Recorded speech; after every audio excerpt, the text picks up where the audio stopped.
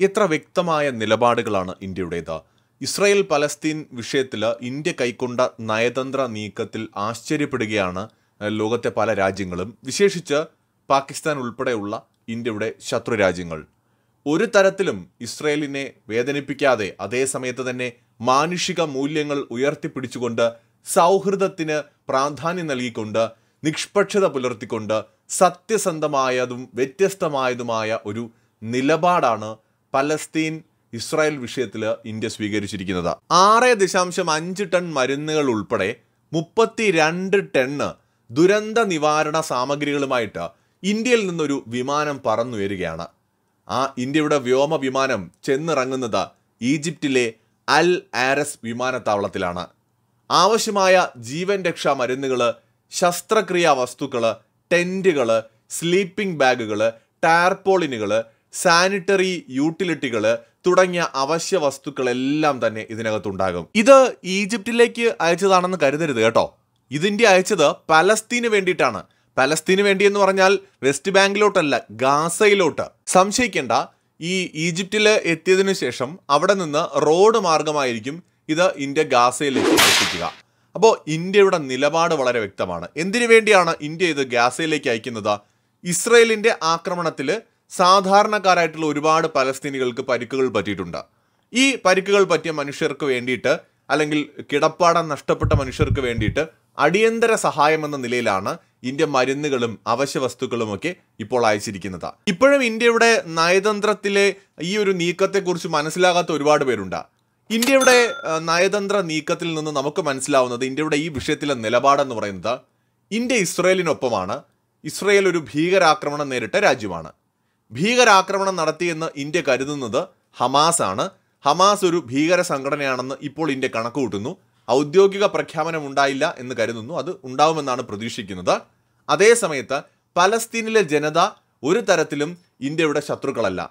പലസ്തീനും അവിടെയുള്ള ജനങ്ങളും ഇന്ത്യയെ സംബന്ധിച്ചിടത്തോളം പ്രിയപ്പെട്ടവരാണ്. ഇന്ത്യ അവരെ സഹായിക്കും. എന്നാൽ ഹമാസ് പലസ്തീൻ ജനതയുടെ പേര് പറഞ്ഞുകൊണ്ട് നടത്തുന്ന ആക്രമണങ്ങളെ ഇന്ത്യ അപലപിക്കുകയും ഹമാസിന്റേത് ഒരു തീവ്രവാദ ആക്രമണമാണ് എന്ന് നേരത്തെ പ്രഖ്യാപിക്കുകയും ചെയ്തിട്ടുണ്ട്. ചുരുക്കി പറഞ്ഞാൽ ഇന്ത്യ ഇസ്രയേലിനും പലസ്തീനും ഒപ്പമാണ് എന്നാൽ ഹമാസിന് എതിരുമാണ്. അതായത് ഈ പ്രശ്നങ്ങളെല്ലാം തുടങ്ങിയത് ഹമാസാണ് യുദ്ധം ചെയ്ത് തുടങ്ങിയത് അവരാണ് ഭീകരാക്രമണമായിരുന്നു തുടക്കത്തിൽ അവർ നടത്തിയത്. അപ്പോൾ അതുകൊണ്ട് തന്നെ അവർക്കെതിരാണ് ഇന്ത്യ എന്ന് വ്യക്തമാവുകയാണ് ഇന്ത്യയുടെ ഈ നിലപാടുകളിൽ നിന്ന്. പലസ്തീനിലെ സാധാരണ ജനങ്ങൾക്ക് ഒപ്പവുമാണ് ഇന്ത്യ. എന്നാൽ എല്ലാ കാലത്തും ഇന്ത്യക്കൊപ്പം നിന്നിട്ടുള്ള ഇന്ത്യയുടെ സുഹൃത്ത് രാജ്യമായ ഇസ്രയേലിനെ ഒരിക്കലും ഇന്ത്യ കൈവിടാനോ തള്ളിപ്പറയാനോ ശ്രമിക്കുകയുമില്ല. ഇന്ത്യ എന്നും ഇസ്രയേലിനൊപ്പം തന്നെ ഉണ്ടാവുകയും ചെയ്യും. ഇവിടെയാണ് ഇന്ത്യയുടെ നയതന്ത്ര വിജയമെന്ന് നമ്മൾ പറയുന്നത്. ഈ ഇസ്രായേൽ പലസ്തീൻ യുദ്ധം ഉണ്ടായതിനു ശേഷം ചൈനയും ഇസ്രായേലും തമ്മിലുള്ള ബന്ധമൊക്കെ വലിയ രീതിയിൽ അതിലൊക്കെ വിള്ളൽ വീണിട്ടുണ്ട്. പാകിസ്ഥാനുമായിട്ടുള്ള ബന്ധം മോശമായിട്ടുണ്ട് കൂടുതൽ പല രാജ്യങ്ങളുമായിട്ടുള്ള ബന്ധം മോശമായിരിക്കുകയാണ്. അതേസമയത്ത് ഇന്ത്യ തുടക്കത്തിൽ തന്നെ ഈ ഒരു ഭീകരാക്രമണം ഉണ്ടായ സമയത്ത് തന്നെ ഇന്ത്യ പറഞ്ഞു ഇന്ത്യ ഒപ്പമുണ്ട്. ഒരു തരത്തിലുള്ള ഭീകരവാദത്തെയും നമുക്ക് അംഗീകരിക്കാൻ കഴിയില്ല. നിങ്ങളുടെ ദുഃഖത്തിൽ ഞങ്ങൾ പങ്കുചേരുന്നുണ്ട്. ഇന്ത്യ ഒപ്പമുണ്ടാകും. ഇന്ത്യക്കാരും അതേ നിലപാട് തന്നെ എടുത്തു. എന്നാൽ ഇന്ത്യ ഈ സൗഹൃദം പുലർത്തുമ്പോൾ തന്നെ ഇസ്രയേലിന്റെ തിരിച്ചടി ഉണ്ടാകും. സ്വാഭാവികമായും ആ തിരിച്ചടിയിൽ ഹമാസിലെ അംഗങ്ങൾ മാത്രമല്ല കൊല്ലപ്പെടുന്നത്. സാധാരണ മനുഷ്യർക്കും പരിക്കുകൾ പറ്റുകയോ മരണപ്പെടുകയോ ഒക്കെ ചെയ്യുന്നുണ്ട് ഈ ആക്രമണങ്ങളിൽ. ഒരു യുദ്ധമാണ് ഇപ്പോൾ നടക്കുന്നത്. അവിടെ ഇന്ത്യയുടെ മാനുഷിക പരിഗണന പലസ്തീനൊപ്പമാണ്. കാരണം ഇസ്രയേലിനെ ഇന്ത്യ തള്ളിപ്പറയില്ല. ഇസ്രയേൽ ആക്രമിക്കുന്നതിന് ഇസ്രയേലിന് അതിന്റെതായ ന്യായമുണ്ട്. കാരണം അവർ അകാരണമായി ബാധിക്കപ്പെട്ടപ്പോഴാണ് അവർ തിരിച്ചടിക്കുന്നത്. അപ്പൊ ഇസ്രയേലിന്റെ ഭാഗത്ത് ന്യായമുണ്ട് എന്ന് ഇന്ത്യ കരുതുന്നു. എന്ന് പറയുമ്പോൾ തന്നെ ഇതിലൊന്നും പെടാത്ത സാധാരണ മനുഷ്യർ മരണപ്പെടുകയോ പരിക്ക് പറ്റി കഷ്ടപ്പെടുകയോ ചെയ്യുന്നത് ഇന്ത്യയെ സംബന്ധിച്ചിടത്തോളം ശരിയായിട്ട് ഇന്ത്യ കാണുന്നില്ല. അതുകൊണ്ടാണ് പലസ്തീന് ഇന്ത്യ ഇതോടൊപ്പം തന്നെ സഹായവും നൽകുന്നത്. പലസ്തീനിലെ സാധാരണ ജനങ്ങൾക്ക്.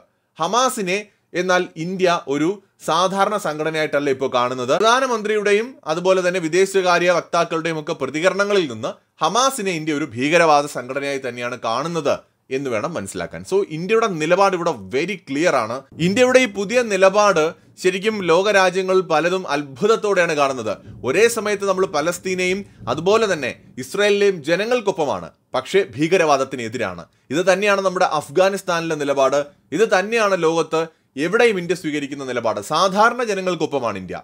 എന്നാൽ ഭീകരവാദത്തിന് എതിരുമാണ്. മറ്റൊരു വീഡിയോയുമായി വീണ്ടും കാണാം.